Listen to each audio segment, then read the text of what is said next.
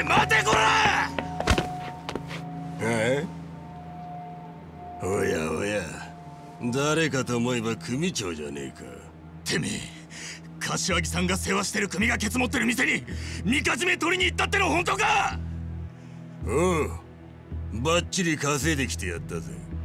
文句ねえだろ。ふざけんな!なんでそんなことした?おいおいそんなことも説明しねえとわからねえのかよ。何？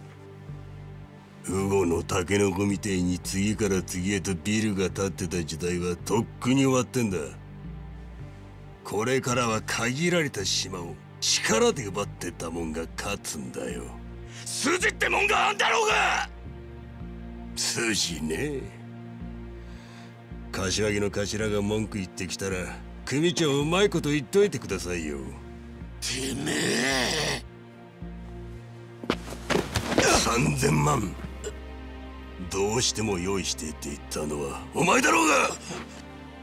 俺のやり方が気に食わねえって言うならお前のやり方で今すぐにでも直径に上がってみろや。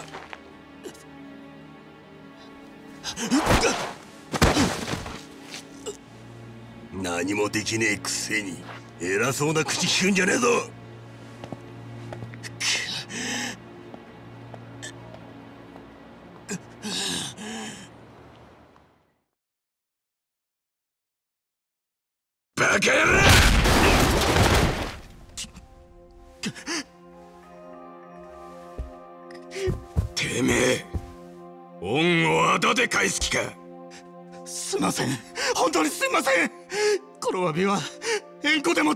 いらねえよ。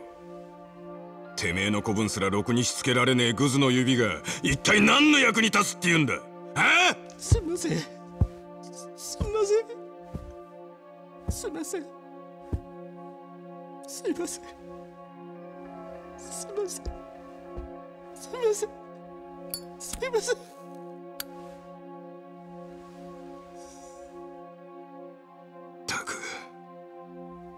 風間の親父の耳に入る前でよかったぜ。こんな情けねえ話で親父を失望させたくねえからな。今回だけは不問にしといてやる。次はねえからな。ありがとうございます。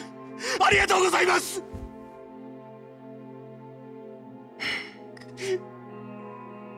桐生ならこんなことには。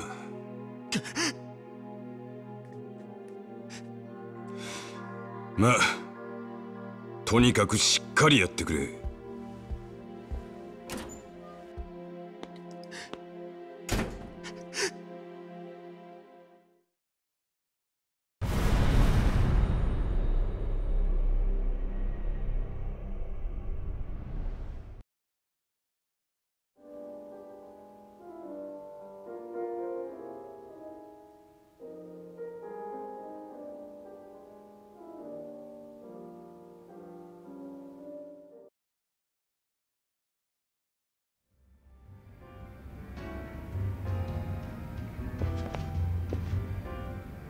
はるかちゃん疲れてたみたいね。ぐっすり眠っちゃって。キルちゃん今日はどうするの？何か新しい手がかりを探さないとな。街に出てみるか。大丈夫？桐生ちゃんすぐ変なことに巻き込まれちゃうから。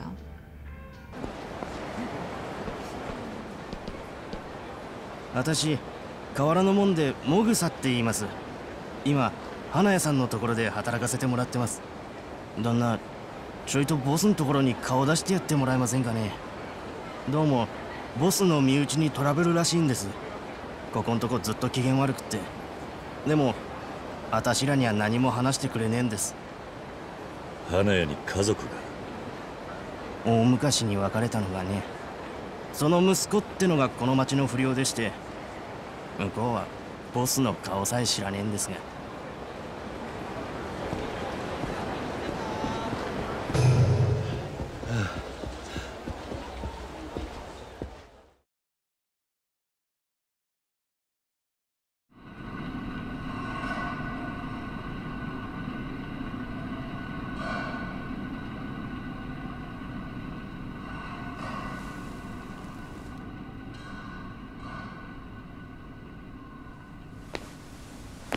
それがあんたの息子か。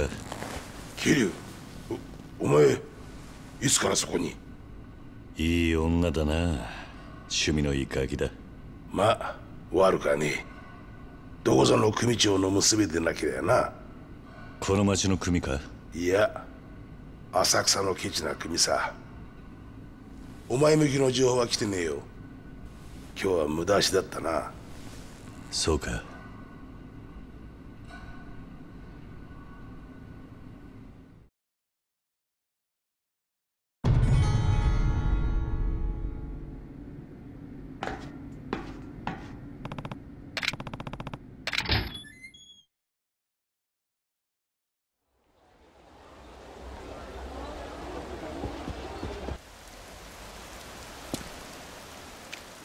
旦那旦那じゃないですか。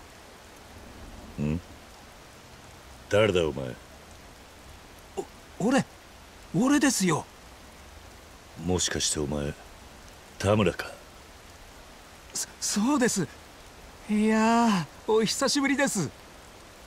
お前死んだはずだったんじゃ。お恥ずかしいことで外じゃそういう話になってるみたいですね青木からでも聞いたんですか？ああそうだ。俺の事件を追ってて。東京湾に浮かんだって。さすが花屋さんだ。完璧に情報でっち上げてくれたんですね。どういうことだ？実は5年前サイの河原に入ってボスと知り合ったんです。そして情報屋としての自分が足元にも及ばないことを感じてねそれで姿を隠してボスの部下として働こうと決めたんですよ。でもどうして死んだなんて嘘。まあ俺には幸い嫁も子供もいなかったんで別に死んでも悲しむ人間ありゃしない。それならいっそのこと自分を消しちまった方が情報が集めやすいと思いましてね。それで花屋さんに頼んだんです。そうかでも青木は今でもお前のことを探していたぞ。そうですか。やったな。俺のことは青木には黙っていてください。お願いします。ああ分かった。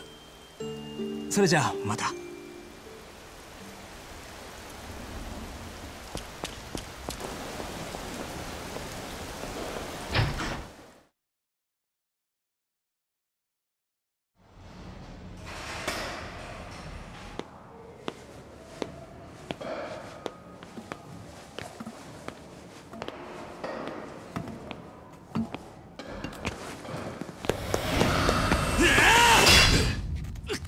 何の真似だ？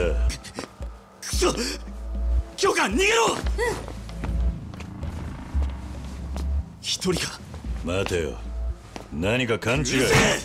組長に言っとけよ。娘さんは京香は俺が幸せにしますってな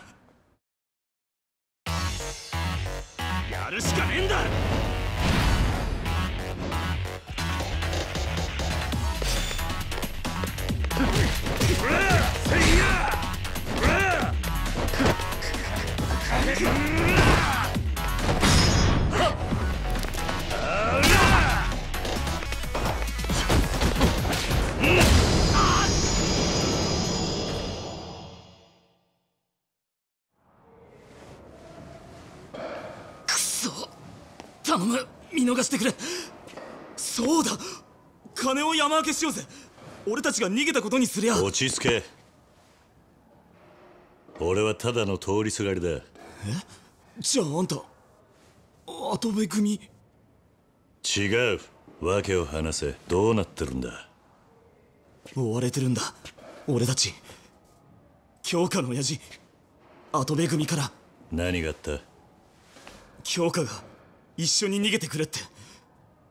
そうだ俺早くあいつのとこ行ってやらねえと。どこにいるんだ？デボラってクラブだ。劇場前広場の。あんた悪いけどもう行っていいか？ダメだ。お前ら。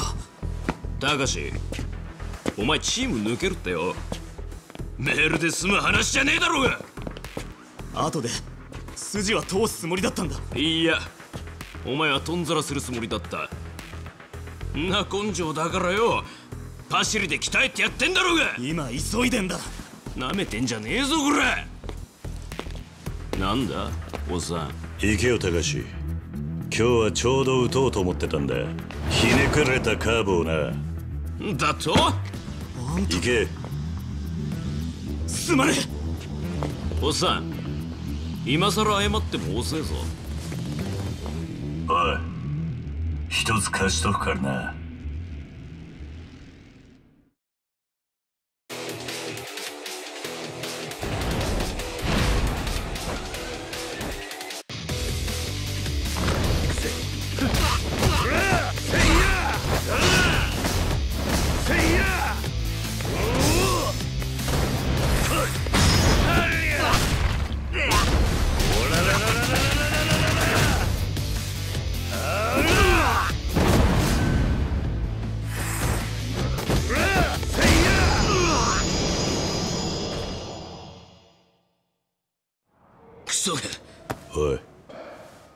高志のことはほっといてやれ どっちにしろあいつは終わりだ筋もんが網張ってるからな。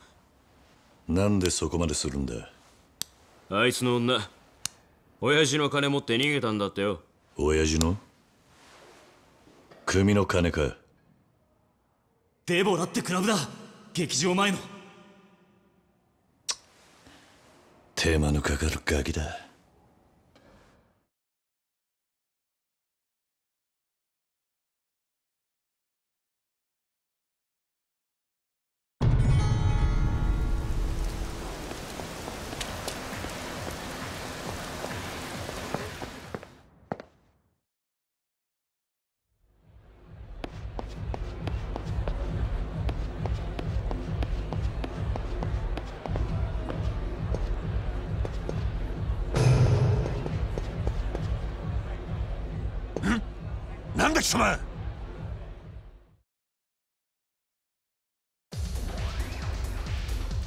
どきなさい。私はもう帰らないんだから。お嬢。申し訳ありませんが力ずくでも。たかしは？たかしはどうする気？お嬢をたぶらかしたガキです。きっちり落とし前つけさせていただきやす。そんな。違うの。私が一人でお金を持ち出したんだから。たかしは関係ない。お嬢。違いやす。お嬢はそう仕向けられたんですよ。京香下がってろ。ずっと前に決めたんだ。俺は何があっても京香を守るって。待てこら！すいません兄貴。こいつ勝手に。ずいぶん賑やかだな。外野の出る幕じゃねえ。彦出ろ。そうはいかねえ。あんたらそのガキ殺しかねんからな。やかましい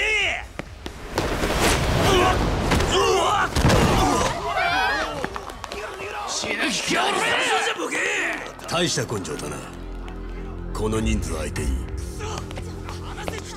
話は指名だ。やれ！ええ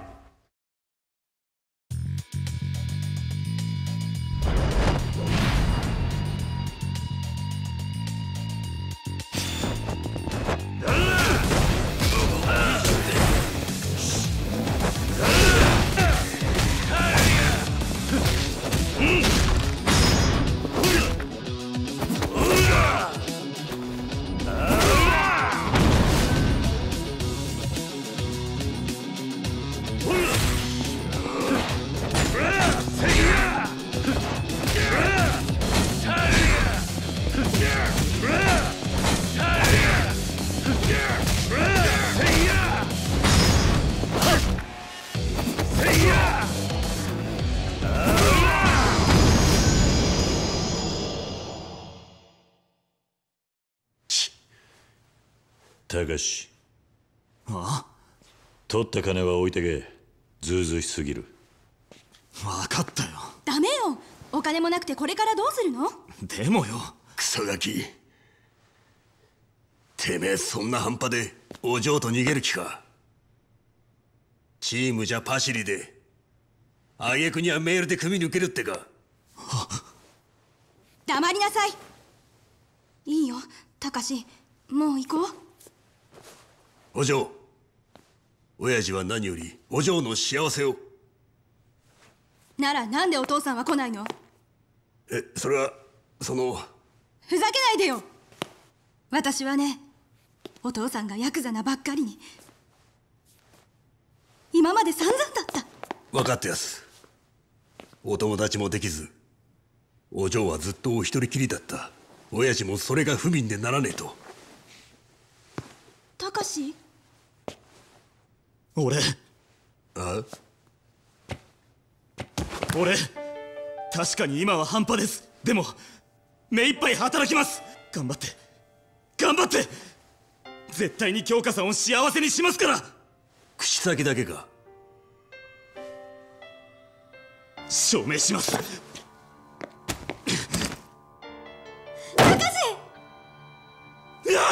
よせお前は極道じゃねえんだ。さっき口にしたことをやりゃそれでいい。あんたもそれでいいな。親父からの伝言です。京香私は生まれついての極道だ。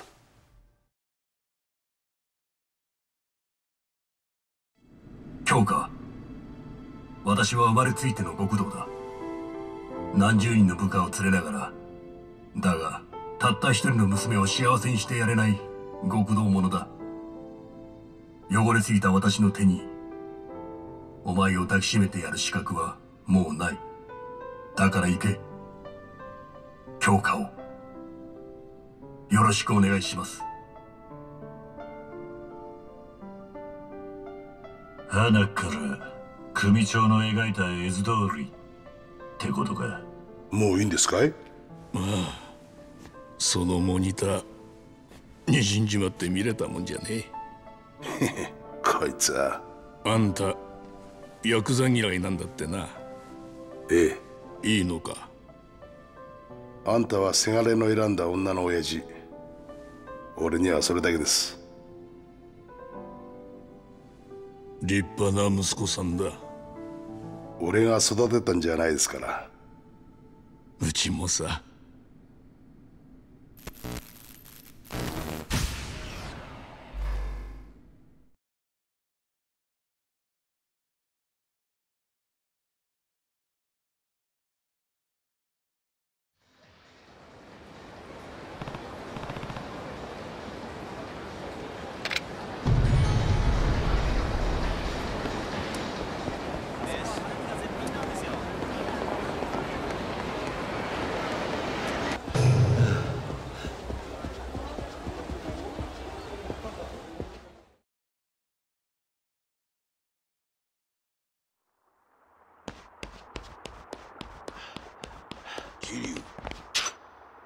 ああそうだ。そういえば高志の連れの親父さんがこんなもん置いてったんだ。京香って女のおやっさんか。俺にくれるのか。ああここで一緒に見ていたんだよ。お前に感謝してたぞ。まあせっかくの差し入れなんだ。もらっとけ。ああそれから実はこの地下街にはちょっとしたカジノがあるんだがお前も入れるようにしといたから暇があったら行ってみな。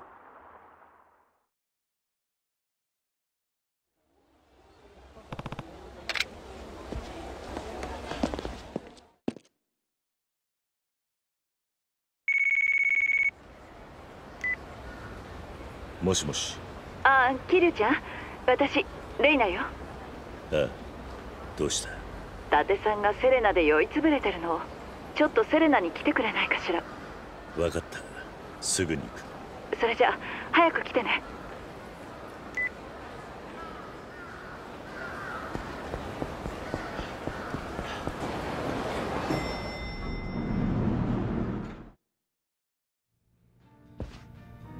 ああキリュウちゃん戻ってくれてよかった伊達さん桐生ちゃん待ってる間ずっと飲み続けててね。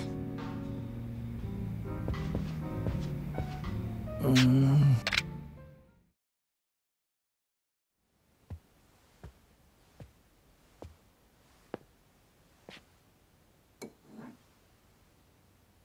こんなに強い酒をどうしたんだ？さあねいろいろあるみたい。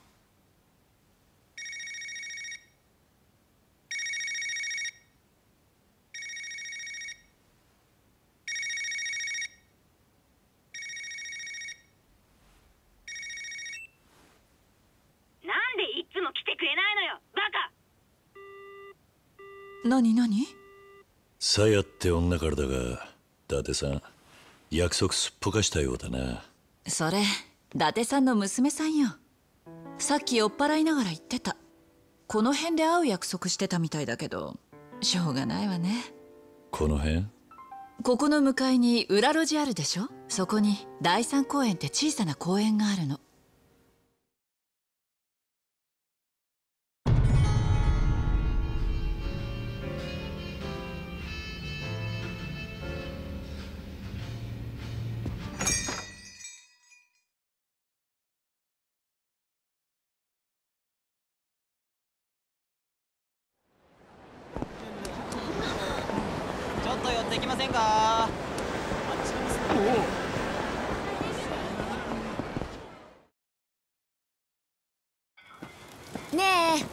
おじさん暇？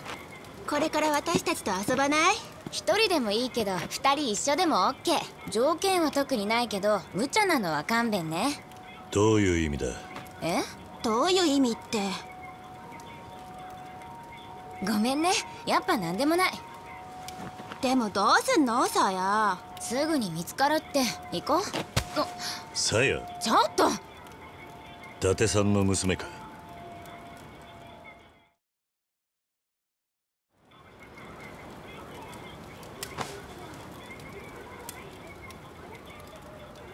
で伊達さんは知ってんのか？はあ？知ってるわけないじゃん。頭おかしいんじゃないの？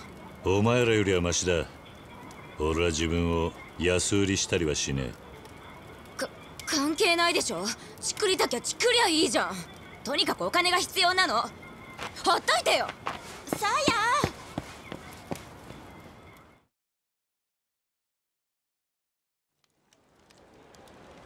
おじさんさやの味方？え多分な。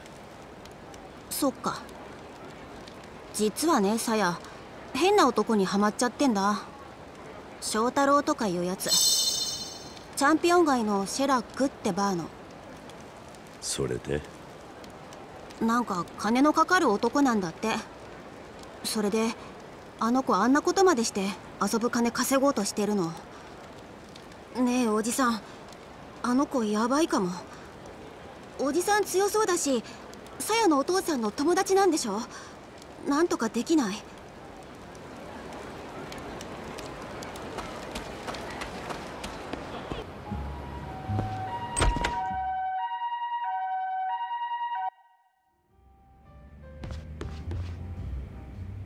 いらっしゃいませ。翔太郎はいるか？お客さん知り合いかい？そうかい。で注文はしないのかい？そうだな。一つゲームをしよう。うちで一番高いものを当ててみな。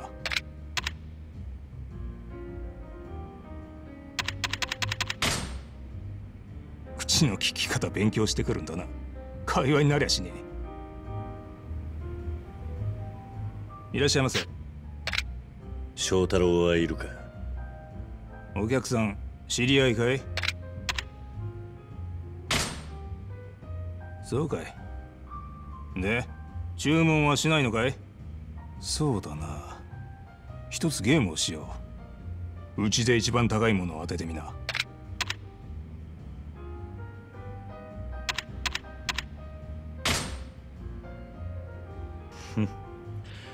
わかりやすい質問だな。ま分かりやすい質問だったか。そうだよな。気に入ったぜ。教えてやるよ。翔太郎ならもういないよ。3ヶ月くらい前からスターダストって店だ。この町一のホストになるんだと。翔太って名前でいるはずですよ。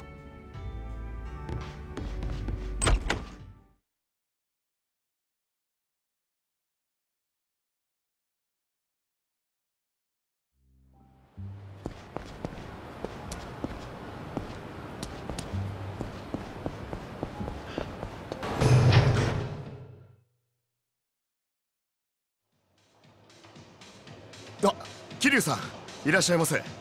お一人ですか？いや翔太ってのは来てるか。ええ翔太なら。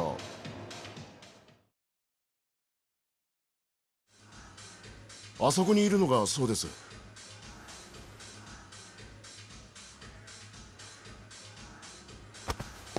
あちょっと。伊達さんか？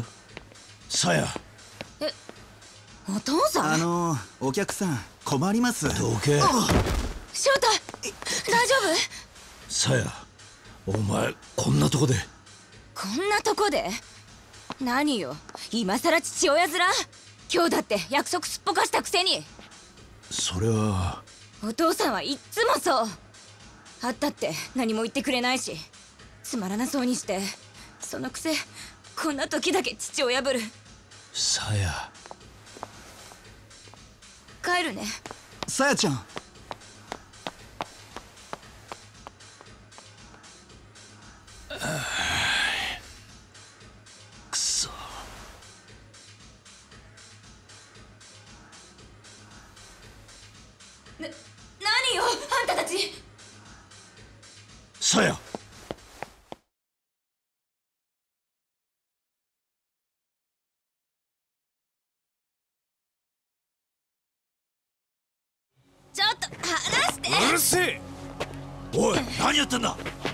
なんだおっさん？その子から手離せ。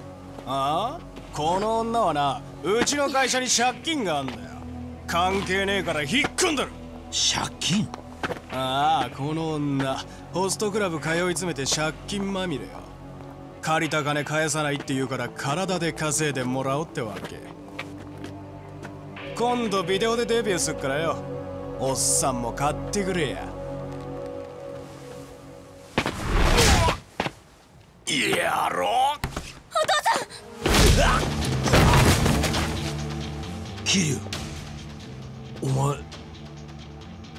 てめえら覚悟はできてんだろうな。伊達さん。話は後にしようぜ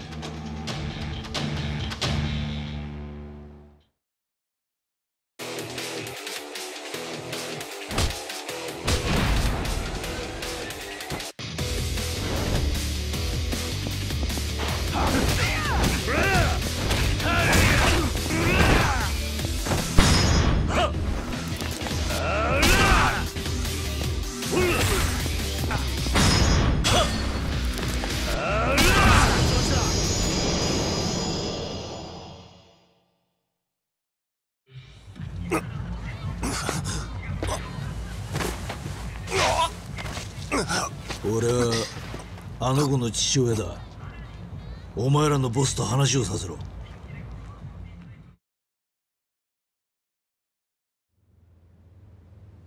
遅いっすね伊達さん。一人で行っちゃったけど大丈夫ですかね？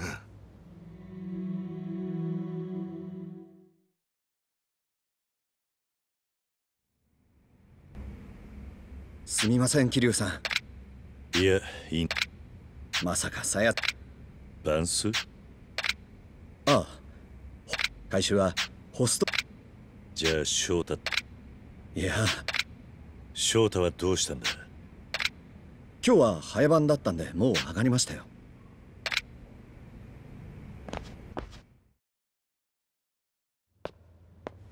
桐生さん。翔太が言ったの町金から借りた店のツケすぐ返さないとまずいからどうにかして金作れって。いつからそんなことを？本当は初めてだったの。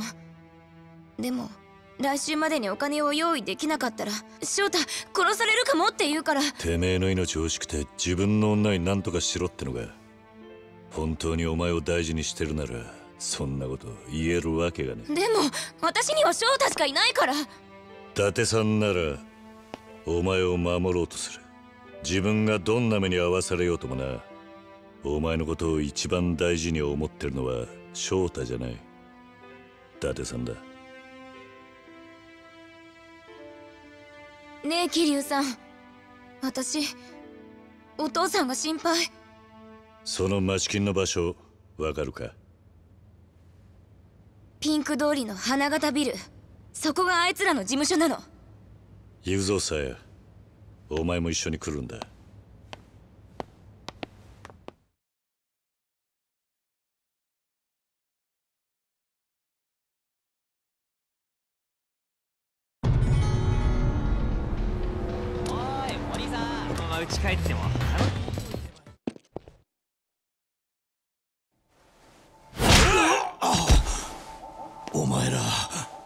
ねえあんた。さやの親父さんなら金払ってよ。そしたらビデオの話は忘れてやるよ。いくらなんだ？店のツケが20俺が建て替えたから利子と合わせて400翔太はさうちの系列で金借りたのよ。その利子が乗っかってんだよ。バカな払えないんだったらさやちゃんしょうがないでしょ。あ？おい翔太あここいつ。さつか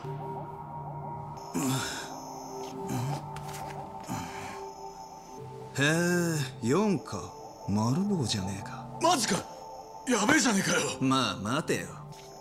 お父さんさ丸棒だったら押収した拳銃とか山ほどあんだろ何？そいつを回してくれたら鞘の借金チャラにしてやるよ。どうだ？いい話だろ 話にならねえよ。強がってんじゃねえよ。翔太なんで？白状な親父だねあんた。娘。大事じゃないの？大事だ。大事に決まってんだろ。さやには指一本触れさせねえ。だったら要求を飲めよ。俺はさやの父親だ。だが警察官だ。お前らの要求は飲めねえ。じゃあさやはどうなってもいいんだな。あ？ああんたはさやより仕事を取ったんだな。殺せよ。なんだと？殺せって言ったんだ。ここで俺が死ねばさすがにお前らでも逃げきれないだろう。日本の警察は甘くねえんだよ。それにさやはさやはきっと俺の友達が守ってくれる。じゃあ望み通りにしてやるよ。別に俺らは殺なんか怖くねえ。花から失うものなんてねえんだよ。お父さん！なんだてめえ。あんた初めからグルだったわけだ。腐ってるぜ。お前ら。一緒にぶっ殺してやる。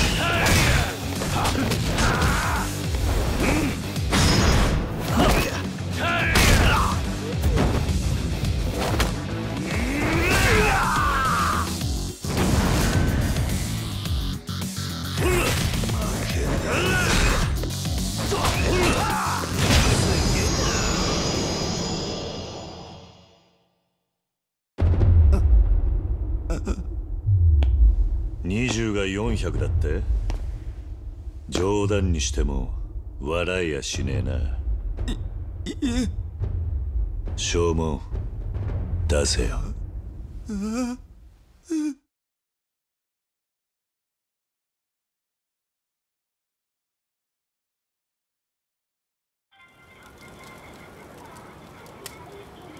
借りができたな桐生。いや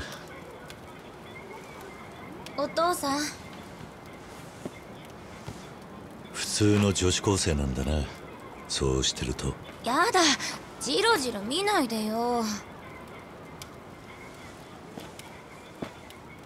おお父さん。さや俺はダメな親父だ。10年前お母さんとお前から逃げ出した。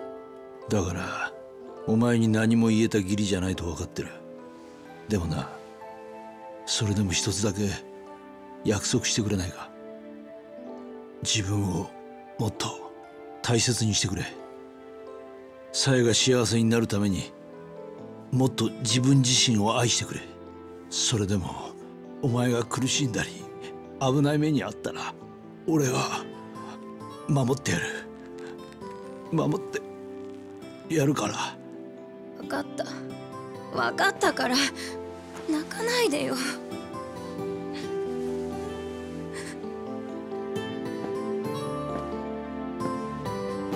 桐生。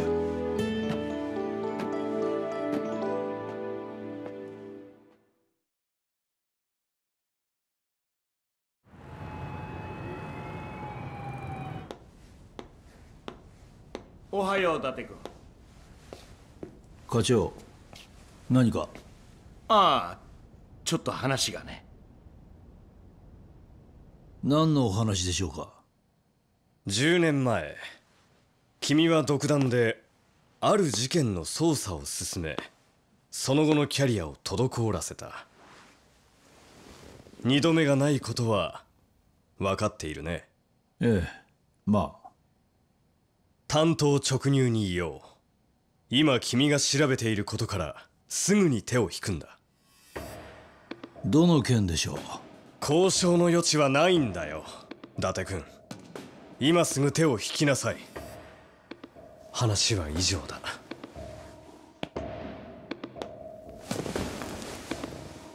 失礼します。おおい伊達君。